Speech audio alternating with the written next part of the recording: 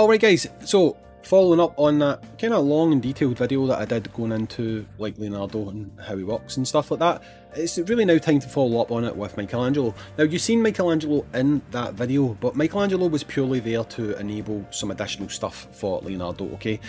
This time we're going to try the reverse, okay? And I have managed to get a little bit more um, fighting spirit investment into him, but not enough to like see him at full potential, okay?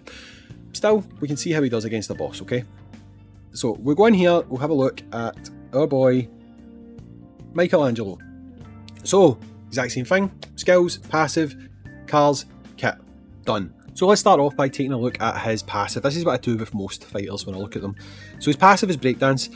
If this fighter has at least 25 breakdances when taking fatal damage, expend 25 stacks to resist that instance of damage and recover 25% max HP. So it's a bit like Sagat's revival thing, right?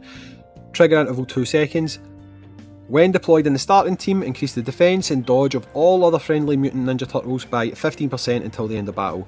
Upon getting hit by a boss enemy, gain an additional 1 breakdance. Upon expending 25 breakdance, to resist the fatal damage, recover 35 HP. Upon expending 25 breakdance to resist fatal damage, gain damage immunity for 2 seconds, right?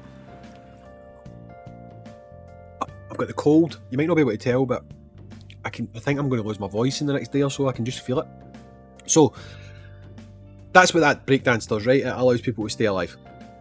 Um, it tells you down here, each stack increases defense and dodge by 1%. Michelangelo can expend the stacks to resist fatal damage, right? It specifically says Michelangelo can expend stacks.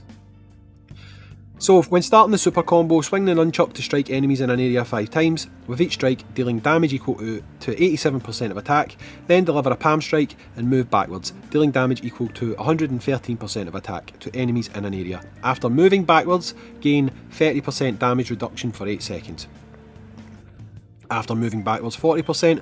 Also increase the damage reduction of friendly Teenage Mutant Ninja Turtles by 20% for 8 seconds. So again, I mentioned this in the last video, it's quite clear that when they're all out, these four units are going to go together like peanut butter and jelly. I don't even like peanut butter and jelly, but I know it's the same. Combo 1, Corkscrew Kick. Spin and strike an enemy three times, dealing damage equal to uh, 310% of attack in total, then kick the target, dealing damage equal to 114% of attack and reducing the target's damage reduction by 15% for 12 seconds. So, I mean, if you've put him. Hmm, try that combo um, with Leonardo starting the comp super damage reduction, him doing the C1 more damage reduction. That would you be matching Honda, although you're using two units, but still. So we'll see we'll see how that goes in the combo, right? And combo two, kick an enemy seven times, dealing damage equal to 677% of attack. In total, the final strike reduces the target's damage reduction by 15% for 12 seconds. Okay, we were doing that and then. We were already doing that, right? Final strike, 20%, damage 778 of attack. Okay, so it does actually look like the combo I was running was probably the best combo, but we want to see what his C1 and his combo do, right? His combo and his C2. Okay, so garage. I don't have these though, right? Upon getting hit, gain an additional breakdance. Each stack of breakdance conditionally additionally increases super combo and trigger skill damage by 1%. Upon attacking, gain an additional 1% breakdance. Each stack of breakdance conditionally increases combo damage by 1%. Okay, so that's that's good as well. It's very good. Soul Power increases damage to 375 and 174. Increased damage to 817%. Okay. Both very good. Now the important part. He's going to have one of these skills as well. I, I know he is. When he's in the break Assist position, grant them breakdance, stacks up to 15 times. If it's a turtle, up to 30 times. If Leonardo is assisting this fighter, Shell Pincer, unleash this skill after unleashing any combo with Leonardo Pincer with Leonardo pincer enemies with a shell attack dealing damage equal to 322% of attack to enemies in an area, then gain 40% damage reduction for 8 seconds after unleashing the skill gain 4 breakdance. That's good. Upon attacking or getting a hit, there's a 30% chance to grant one breakdance to a random friendly fighter and a 30% chance to grant it to all addition other turtles. Upon entering the battle, gain 15, that's at level 20, and at level 30, upon attacking or getting a hit, there's a 60% chance to grant one breakdance to a random fighter and a 60% chance to grant it to all other turtles. Okay, so I've now improved him a bit. He was only at 5 when I was testing out Leonardo. He's now at 15. It's obviously still not fantastic, right? But we'll be able to see a little bit better how they pair up, okay? I'm going to do... Am I going to do what I did the last time? I don't really see the point, because I don't see this guy as a damage unit. I see this guy as more of a, a surviving, quasi... I mean, I don't even know if I can call... In the trial, he was giving people shields. That's the weird thing. I don't see where that would be happening.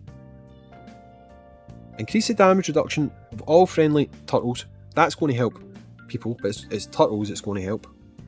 This one, there's nothing about shields or anything. So the only thing that could be helping with the survivability would be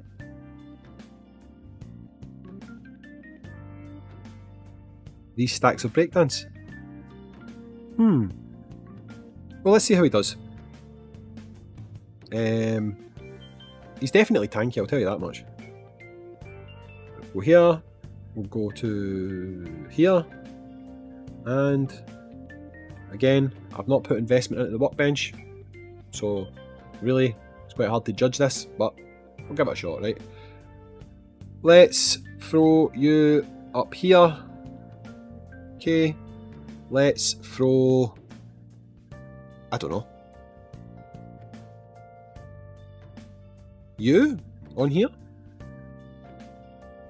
I'm just going to be doing his C3. I just really want to see this little, um, this little trigger skill. So we will move that up. Let's see the trigger skill. I'm not even going for a score on this one. I just want to see his trigger skill.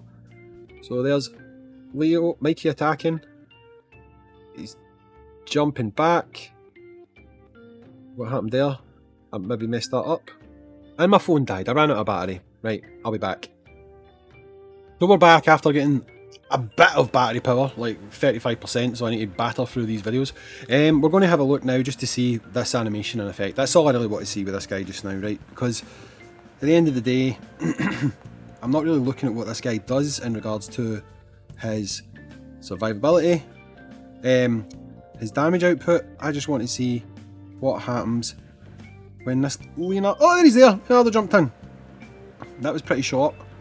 I think he might have missed, to be completely honest. Because Balrog moved. Oh, Leonardo, he, he jumps back and he hits him with his shell. Right, so he jumped back and he hits him with his shell. I guess that's interesting. it's cool because they don't usually do units like that, so these team up moves are pretty good. But let's just do a run now. So, oh, what are we going to do here? We're going to use. To take you off. I'm going to put you off. We'll put you back on here. I'll just throw something random up top and we will put you back on to here. Okay, so more or less here, right? We're only going to use Leonardo's C3, right? I just want to really see like how's the survivability. Do we need to use the EX move and that type of stuff? I'm just going to do one run, right? One run. I won't use the EX move. We'll just see how they get on, right? Again, Donnie here, he's got a lot going for him against bosses, but I don't have the fighting spirit investment into him. I don't have the cars. I don't have the things that's going to make him excel versus a boss, okay? So, I don't really know how much we can glean from this. But we'll see, because he has got things in his kit where he's going to give people breakdance. I mean, you can see there just now that Leonardo's got multiple breakdances, right? So let's pop this and let's just go. Right, I'm, I'm not actually going to use that. I used the wrong starting skill there, that was my bad, right? I meant to use this one. Okay, we're just going to use his start and his thingy. And this time, you know what, I'll mix it up. We'll use his C1, throw that in there for a little bit of difference. Then we'll use his super, pop. You'll notice I've not used any... I've not used the EX skill. I mean, maybe I don't have to because we're not doing as much damage. But like, if survivability is getting to do with Mikey, then he might be doing something, because last time when I was doing it differently and using Leonardo as a DPS, we did not get to survive like that. We did not get to survive like that. So, I'm just going to skip this, right? because we're not doing a damage comparison here. Now, not built. We survived that fight. Okay. Again, I don't know how hard that is to survive against Balrog right now because I've not done it that many times. So let's just see what was what. What did we get from that? Stats. Leonardo still did good damage there as well, considering he was hardly really doing his attacks. Because, I mean, he only used the super twice. Didn't really want to use the super at all. That all came from essentially Mikey and Poison Assist. Um, Rose assisting him. This time I'll try not to forget. Right? I'll try not to forget. Let's just see what would happen if I take you off and put you on top of uh, this guy. We'll see what difference this one makes, right?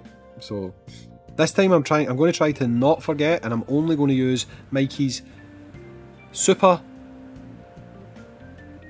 Rose Mikey Leo. So that's going to be the whole way. I'm going to try and do that. I'm not going to pop the Virgil EX at all. The Virgil EX will not be popped, okay? Okay, so let's go for it. See what we get. Now I'm going to assume that we're building up stacks of that breakdance thing. Obviously can't see the screen. Well, I mean I can see the screen, but I'm not looking at the icons above their heads is what I mean. Okay. So again, I'm literally just using Mikey, hopefully to survive we should be getting passive stacks of both the breakdance and that sword powery doodah, whatever it's called. Forget the name of it. Saber slice or something.